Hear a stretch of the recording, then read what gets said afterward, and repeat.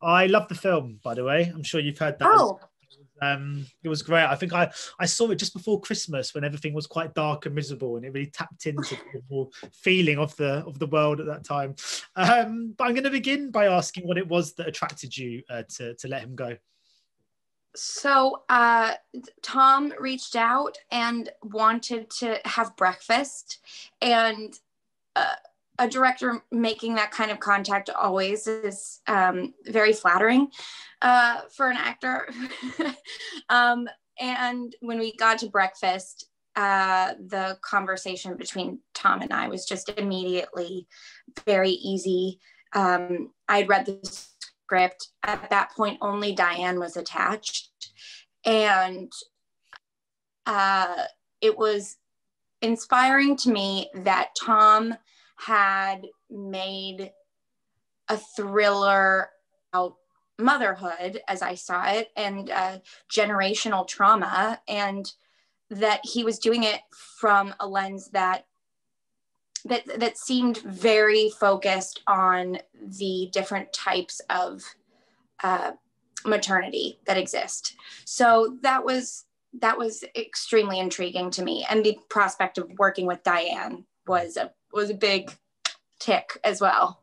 Yeah, I mean it's a great role, isn't it, for you? I mean, she she's kind of underestimated by the other characters in the film, but also by the audience, I think, as well.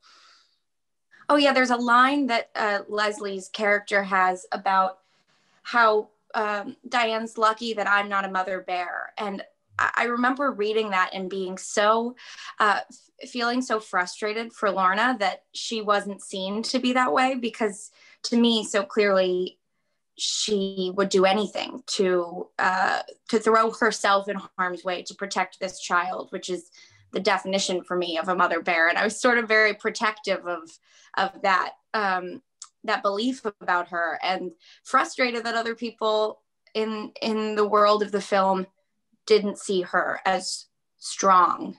Hmm.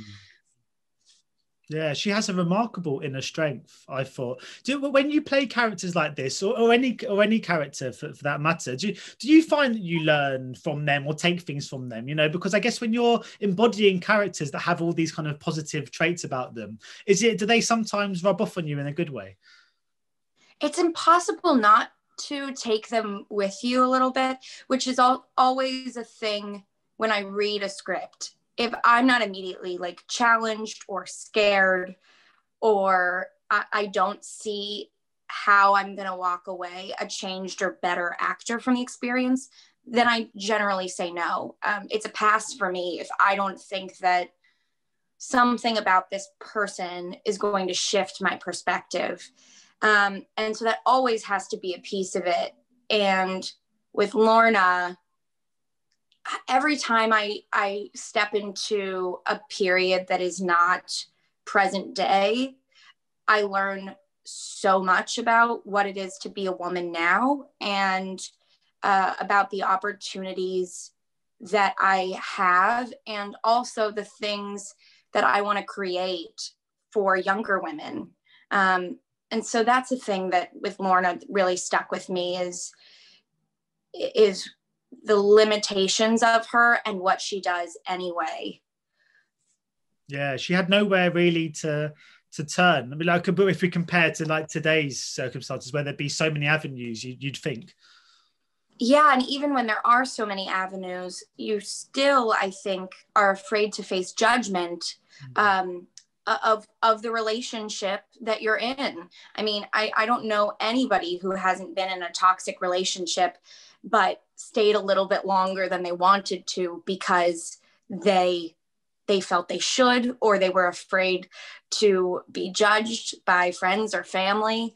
Um, that toxicity holds people for a long time yeah, I mean, it must be sort of fascinating thing to kind of tackle because obviously, when you get kind of period films and films that seem like they're in a whole different world to the one we have now, but you had, I guess, this incredibly human trait to, to ta- tackle onto. And, and I was just wondering when it comes to like tackling um, uh, like domestic abuse on screen, how important is it to be very delicate, but yet at the same time to be very raw and very honest? So that kind of balance of sensitivity and yet at the same time, one, not wanting to kind of pull any punches to show exactly what it is. I freed myself immediately of the expectation to do anything in the right way because every woman who's ever experienced intimate partner violence has an entirely different experience with that. Um, I read a book called No Visible Bruises during filming. It had it had just been released, and I found it really impactful uh, because it was it, it was written from the perspective of multiple families who have been through it and who have um, um, have been families of both the victim and the uh, intimate partner who was abusing them. And that perspective the family's perspective is extremely helpful because nine times out of ten the reason that women left which is often the most critical time and the possibility of violence is the highest when women leave or anybody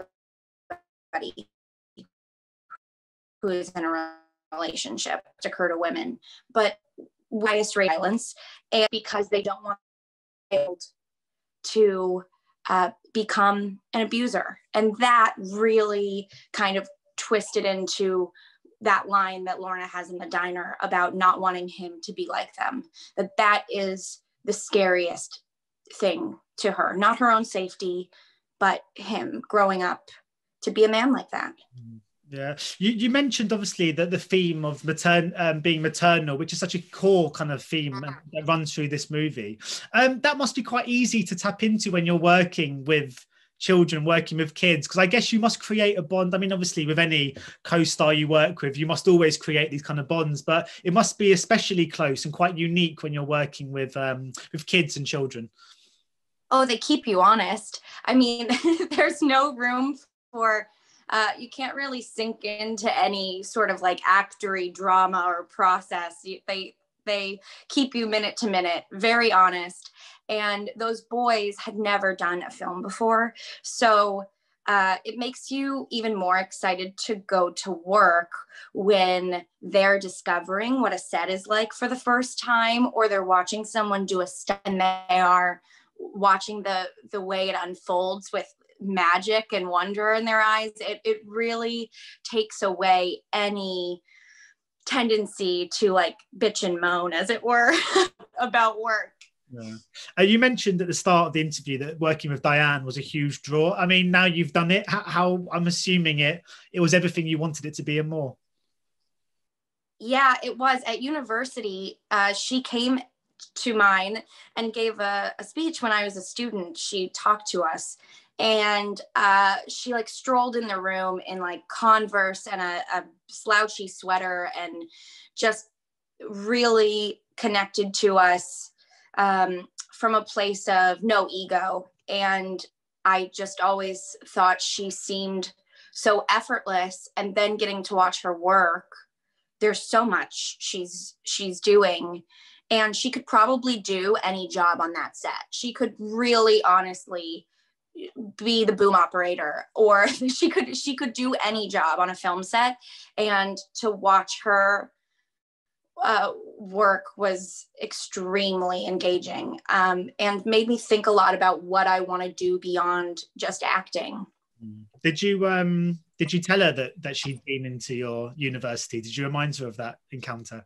I did. I think we we were eating dinner or something, and and uh, she would have had no reason to remember it, but um, I did tell her that we had met before, and this was kismet. so I'm just I'm running out of time. So I was going to ask you just quickly. Um, because yeah. you worked, but obviously it's not just Diane, Kevin Costner, Lesley Manville.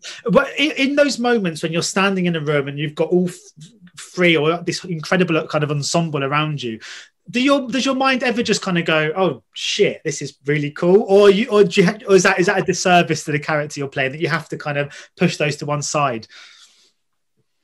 It, it does occur to me all the time, but I quickly shove it down. With Lesley, we got her pretty late in the game. And when I found out it was going to be her, I thought, oh, we just, I, I'm not sure everybody knows what this film just turned into because we have her now.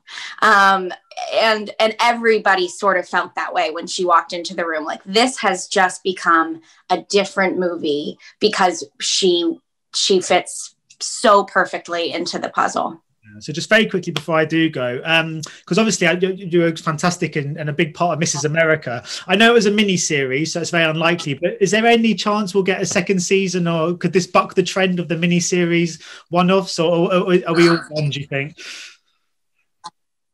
We would all, uh, we would all uh, just clamor to work together again. I'm not even sure that you could get all of those people's schedules to work at the same time. It was such a meticulous process to get all of those people free at the same time um, that we're very happy with what it said about where we are uh, in history and that history is still happening with the ERA. It is not yet ratified um, into the Constitution. So I think that the way that we left it, we felt very strongly about. But I uh, will work with any of those women and men at any given point in time. So just call me.